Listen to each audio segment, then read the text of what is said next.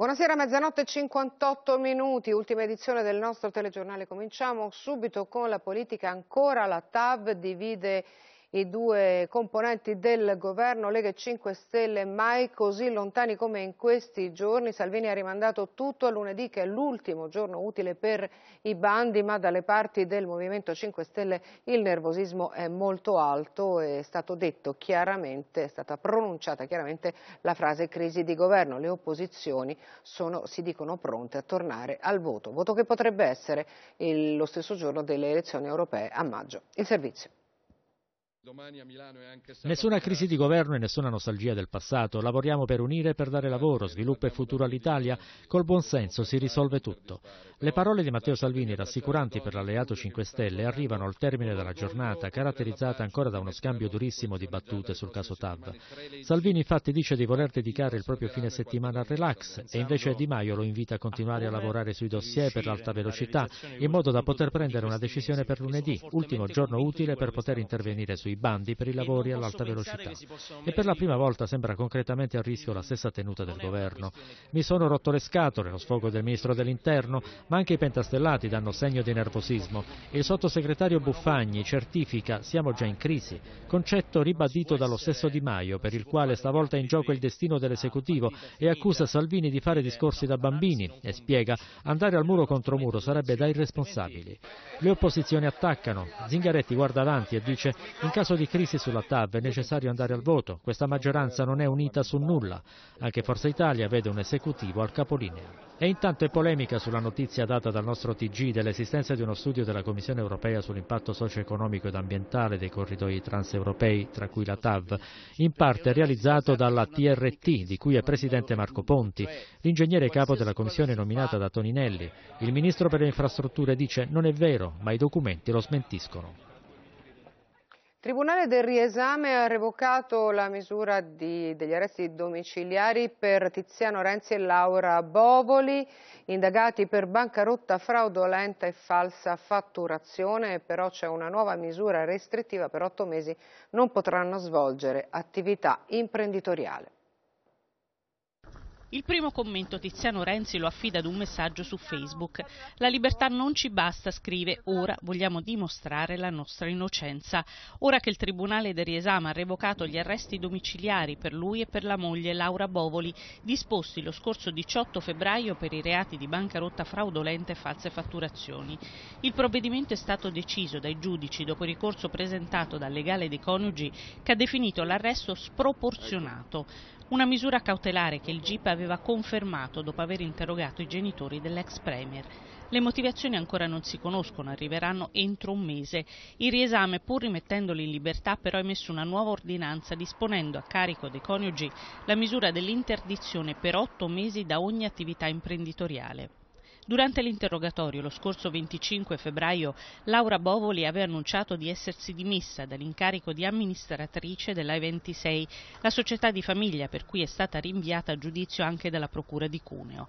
Ormai siamo depensionati, aveva aggiunto Tiziano Renzi. Il figlio Matteo da parte sua ha ricordato come questi giorni siano stati più brutti della sua vita e che ora inizierà una lunga maratona nelle aule di tribunale. A tre settimane dall'ora X il Regno Unito ancora non sa come verrà affrontata la Brexit, mentre continuano le trattative, la prossima settimana sono previsti una serie di voti parlamentari. Oggi Theresa May ha pronunciato una frase che ha rotto di fatto un tabù. Potremmo anche non uscire mai, questa era una delle ipotesi, ma la più estrema. Vediamo.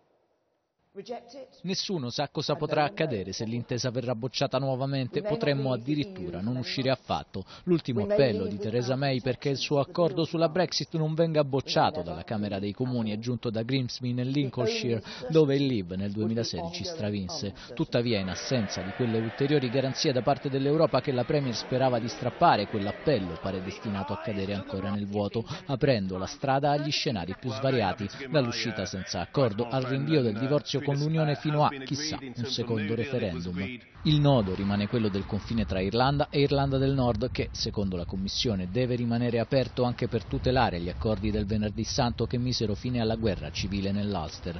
Michel Barnier, capo negoziatore di Bruxelles, è stato chiarissimo facendo di fatto via Twitter un'ultima offerta. L'Unione si impegna a dare al Regno Unito l'opzione di uscire dal territorio dell'Unione doganale in modo unilaterale, mentre gli altri elementi del backstop devono essere mantenuti per evitare barriere alle frontiere. Il Regno Unito non sarà forzato a restare nell'unione doganale contro la propria volontà. Difficilmente i Brexiteers conservatori della Camera dei Comuni si accontenteranno. Nel caso l'accordo dovesse essere nuovamente affondato, mercoledì si voterà per il no deal e, nell'eventualità di un altro no, per il rinvio della scadenza del 29 marzo.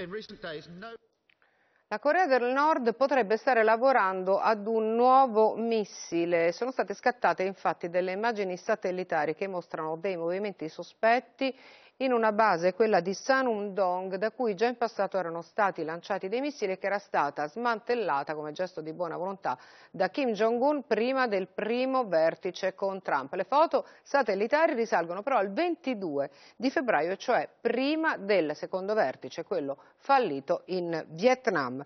Veniamo ora alla cronaca italiana, al processo per la morte di Stefano Cucchi. Oggi durante una delle udienze sono emersi nuovi documenti. È spuntata infatti infatti una relazione medica che era stata finora tenuta segreta, di cui il Comando Provinciale dei Carabinieri sarebbe stato a conoscenza. È una relazione preliminare effettuata prima dell'autopsia sul corpo del geometra romano.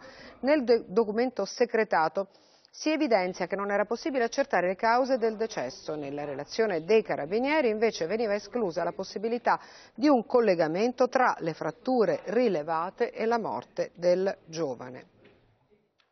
Ha tentato il suicidio ed è in gravissime condizioni nel reparto di rianimazione dell'ospedale di Ferrara Michele Castaldo, l'uomo di 57 anni, reo confesso per l'omicidio della compagna Olga Matei. Ricorderete, questa storia è stata al centro di forti polemiche pochi giorni fa perché con una sentenza eh, era stata dimezzata la pena eh, perché erano state concesse tra le varie attenuanti anche quelle della tempesta emotiva legata alla gelosia.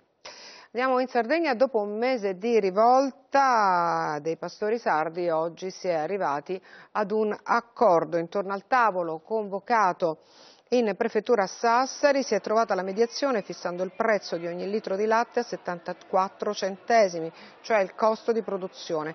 A novembre poi scatterà il conguaglio calcolato in base alla quotazione media del pecorino romano alla borsa di Milano. A sbloccare il muro contro muro ha contribuito anche il decreto firmato ieri dal governo che ha stanziato 24 milioni di euro per sostenere la filiera lattiero-casearia in Sardegna.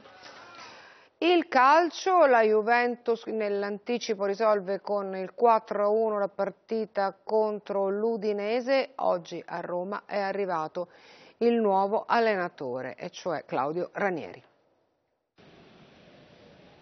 La Juventus si sbarazza facilmente dell'Udinese risparmiando molti titolari a quattro giorni dal tentativo di rimonta Champions contro l'Atletico Madrid. A Torino Allegri mischia le carte e il diciannovenne Ken sfrutta l'occasione realizzando due reti nello spazio di appena mezz'ora. Lo stesso attaccante classe 2000 si procura nella ripresa il rigore realizzato da Emre Can. Poi il poker dell'altro centrocampista Matuidi precede il definitivo 4-1 del friulano Lasagna. La capolista Juventus sale al provvisorio più 19 sul Napoli, mentre Claudio Ranieri si è già ripreso la Roma. Sbarcato in mattinata nella capitale, il 67enne tecnico testaccino ha diretto nel pomeriggio la prima seduta a Trigoria. Ci servivano mani esperte, il bentornato di Totti al nuovo allenatore, al quale il presidente Pallotta ha chiesto la qualificazione alla prossima Champions League. Ce la giochiamo in 12 giornate, ai calciatori ho chiesto determinate cose, a cominciare dalla serenità, le prime parole di Ranieri che fino a giugno guadagnerà un milione di euro più bonus, senza alcuna garanzia per il futuro. Oltre a Di Francesco, esonerato ieri, via dalla Roma anche il direttore sportivo Monci. Al suo posto è stato promosso Ricky Massara. L'una e otto minuti, noi ci fermiamo qui, ma come sempre domattina alle sette l'informazione torna sulla nostra rete. Arrivederci e buonanotte.